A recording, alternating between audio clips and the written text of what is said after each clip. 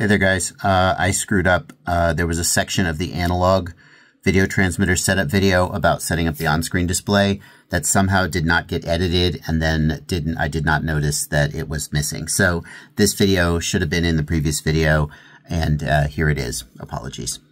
Next, we're going to get our goggles, or in my case, I'm not using goggles, I'm using this little display just because it makes it easier for me to make this video. And we're going to set those goggles to the channel that we set the video transmitter to, in this case, raceband channel 8. Uh, exactly how you do that is going to depend on which goggles you've got, but you're going to need to put them on raceband and then put them on channel 8. Uh, and then we're going to power up and we're going to see if we get video. That's weird. I have just a black screen. Whoa, I have a black screen. The reason I have a black screen is because I have a lens cap on the camera. Pull your lens cap off, everybody. oh yeah, there we go. We have video. Yay! The next thing we're going to do is we're going to go to the OSD tab and set up our on-screen display. The on-screen display is information that the flight controller can put in your goggles so that you can see while you're flying. The analogy I like to make is it's like when you're driving a car, you would want to have like a speedometer and a gas gauge so you know like if you're about to run out of gas or if you're speeding. The OSD gives you information like that. Now the default setting here is to have it set on auto where the flight controller tries to auto detect which signal is coming in and sometimes that works and sometimes it doesn't so I like to set it manually. Here's what I want to notice. Do you see that with it set to auto we had more lines at the bottom of the screen right? We have the bigger screen, whereas if I set it to NTSC, the screen gets smaller. You can try that. You can go back and forth with PAL and NTSC. And do you see that when it was set to auto, it was in the big position, and I put this at the bottom of the screen. And now, if we look at my screen, do you see that it's appearing at the bottom of the screen? No, you don't see that. You just see my finger pointing at nothing. Uh, and the reason for that is that the SkyZone monitor that I used to record DVR for this video, uh, it didn't record the bottom 10, 15% of the DVR. It just chopped it off. So throughout the whole rest of this video, there are going to be things at the bottom of my screen that I can see in real life that you don't see in the video.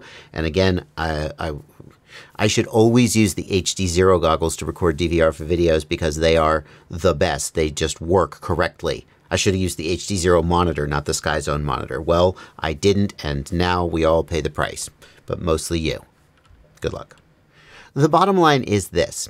If you turn on an OSD element, and then you move it to the very bottom of the screen in Betaflight Configurator, and instead of appearing at the bottom of the screen, it appears up here, or if you put it at the bottom of the screen in Betaflight Configurator and it simply doesn't appear on screen.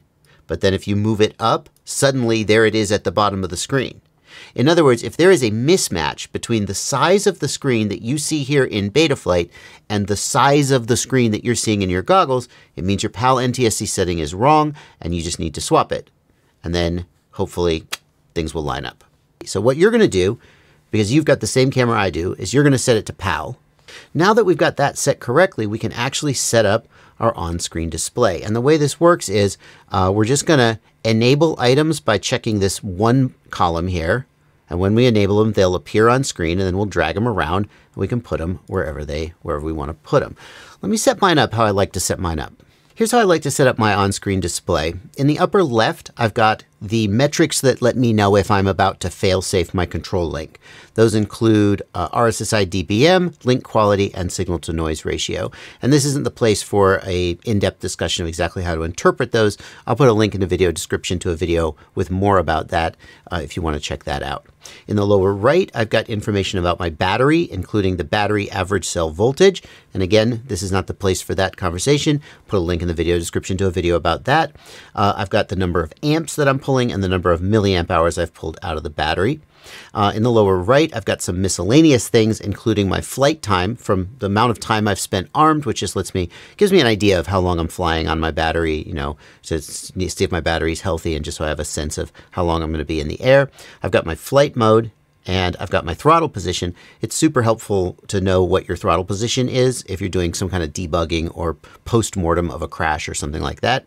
And then finally, I've got the warning element here in the center, which gives me warnings about like why a quadcopter can't arm or something like that. In fact, I think I'm going to knock that up slightly Yeah, I think that's good. And I like to push those all the way out to the edge because the standard definition display doesn't have a lot of resolution and it doesn't, they take up a lot of space. Some people prefer to move them in just a little bit from the corners uh, to make them a little easier to see. I might do, I might do that. Yeah, that looks good to me. I like that better. The other thing I would do if this quadcopter has GPS is I put the GPS stats in the upper right corner. But this one doesn't have GPS, so we're not going to do that.